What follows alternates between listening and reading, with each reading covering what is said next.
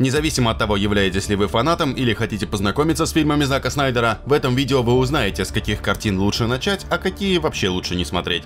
Сюжет запрещенного приема следует за молодой девушкой, помещенной в психиатрическую больницу ее отчимом. Героиня справляется со своим заключением, погружаясь в фантастические миры, которые сложно отличить от реальности. Запрещенный прием был первым фильмом Снайдера, снятым с оригинальной концепцией, и похоже он усвоил урок никогда больше этого не делать. У критиков было много претензий к фильму, включая чрезмерно сексуализированных женских персонажей и запутанный беспорядочный сюжет. Ветеран кинокритики Ричард Ропер подытожил чувства многих своих коллег, назвав эту картину неразборчивым лицемерным бардаком чуваком, который доказывает, что можно даже заполнить фильм полуобнаженными женщинами с большими пушками, и он все равно будет утомлять зрителя. Запрещенный прием часто сравнивали с началом Кристофера Нолана, который появился в кинотеатрах годом ранее. Оба эти фильма – научно-фантастические триллеры, в которых рассказывается история, действия которой происходит в обстановке одной реальности, погруженной в другую. You mustn't be afraid to dream a little bigger, darling.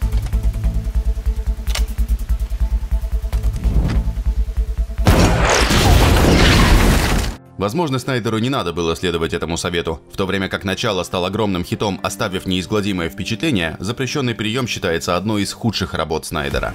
«Бэтмен против Супермена. На заре справедливости» был первым фильмом о команде супергероев в расширенной вселенной DC, но его успех едва ли мог сравниться с самым большим кроссовером комиксов на тот момент, первой частью «Мстителей» киновселенной Марвел 2012 года. В дополнение к возвращению звезды Человека из стали Генри Кавилла в роли Супермена, фильм представил Бена Аффлека в роли Брюса Уэйна, также известного как Бэтмен, и Галь Гадот в роли Дианы Принц, также известной как Чудо-женщина. В теории это был отличный ответ на мольбы фанатов комиксов DC, и казалось, что он станет одним из крупнейших фильмов 16 года. К сожалению, фильм не оправдал этой шумихи. Его разгромили критики, которых, среди прочего, оттолкнула не очень связная история. Кристи Пучко из CBR написала, назвать его пронизанным сюжетными дырами было бы неуважительно по отношению к сюжетным дырам. Это настоящие сюжетные пещеры. О каких дырах идет речь? Как насчет этого? Почему Супермен всегда появляется рядом с Лоис Лейн, чтобы спасти ее в считанные секунды, но не способен сделать того же по отношению к своей матери? Откуда Лекс Лютер узнал, как создать Думсдея? Почему Супермен назвал свою мать по имени во время битвы с Бэтменом?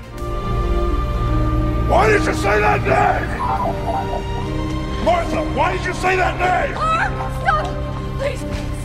Вы уловили суть. И если вы видели фильм, то, вероятно, можете добавить еще полдюжины собственных вопросов. Помимо проблем с сюжетом, те, кто рецензировал фильм, согласились с тем, что он был перенасыщен и наполнен 45 минутами ненужного дополнительного контента. Но фильму все равно удалось собрать неплохие кассовые сборы, заработав 873 миллиона долларов по миру. Кинозрители оценили его лучше критиков.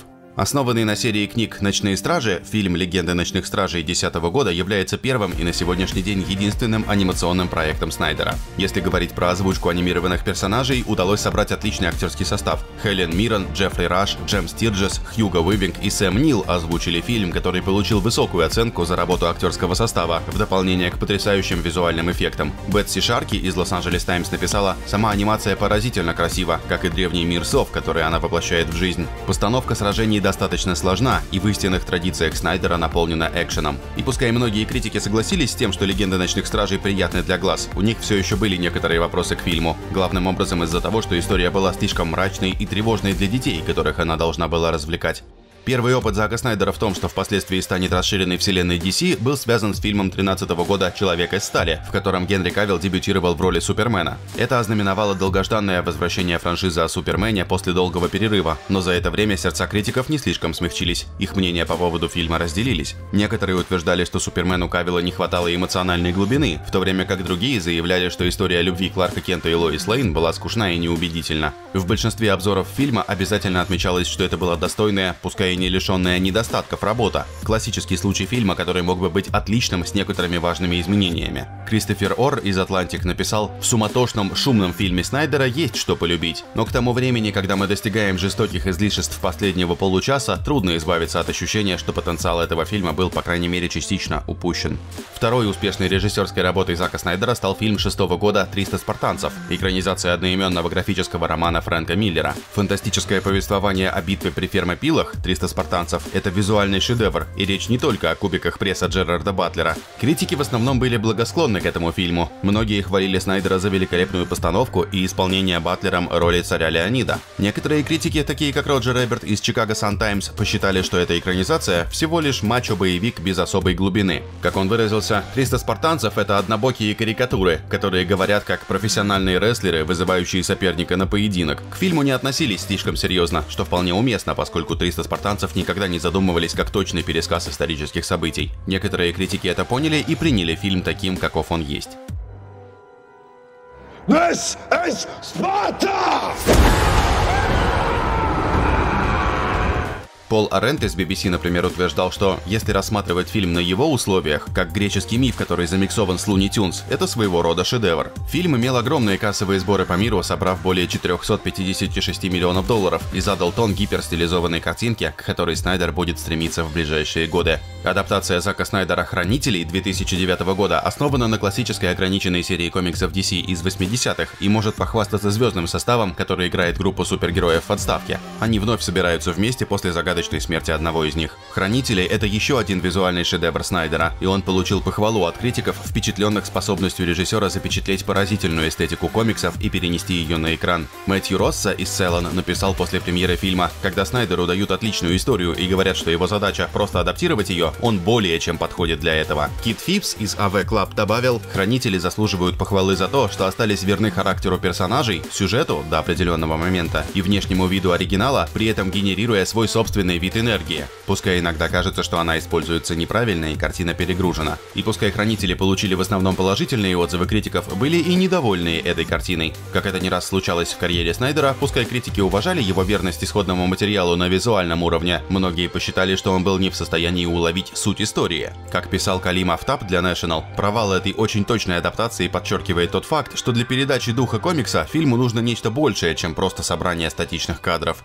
Зак Снайдер получил свой режиссерский дебют с фильмом «Рассвет мертвецов» 2004 года. Это ремейк классического одноименного фильма Джорджа Ромера 78 года о группе выживших, пытающихся пережить зомби-апокалипсис. На Rotten Tomatoes «Рассвет мертвецов» — первая работа, получившая высокую оценку свежести в фильмографии Снайдера, а этой чести не всегда удостаиваются фильмы ужасов про зомби.